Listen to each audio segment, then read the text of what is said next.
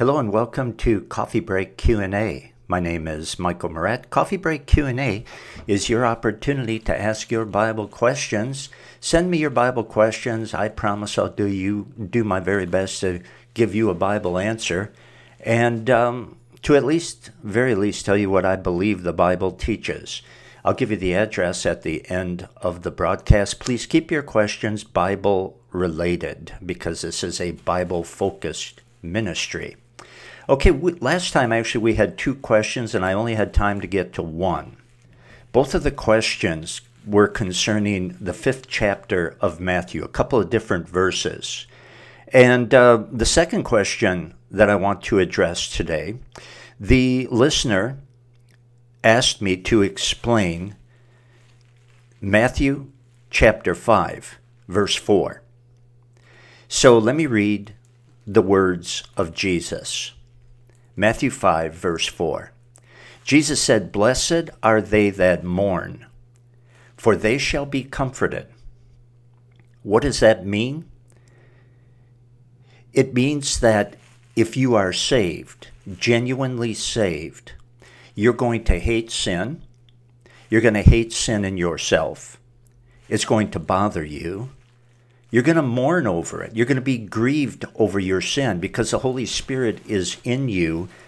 And when you commit a sin as a Christian, the Holy Spirit is grieved. And the spillover of His grieving falls into you, and you experience that. You're grieved by your own sin if you are saved.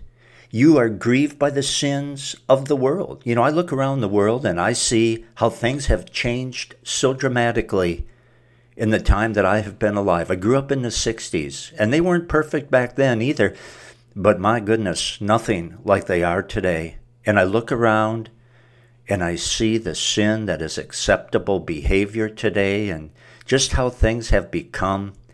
And I grieve and I mourn over it. And I know you do as well if you're a genuine Christian who loves Jesus. And here Jesus says, Blessed are they that mourn, for they shall be comforted. In other words, it's not always going to be that way.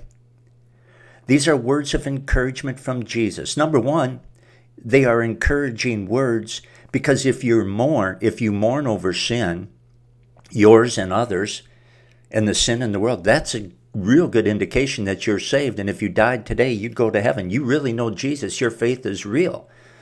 So it's encouraging for that reason. And secondly, it's encouraging for you to know that you're not going to always have to live in an environment like this. Someday righteousness will be the rule of the day and not sin. And so you won't be mourning in those days.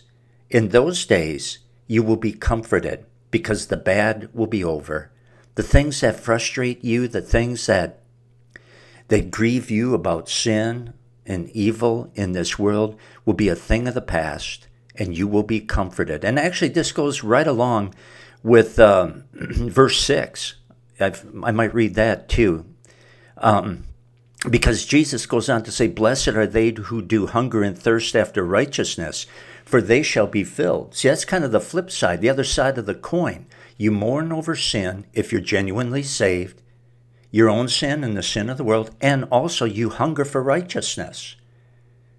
And you're going to be filled. Your mourning will be gone.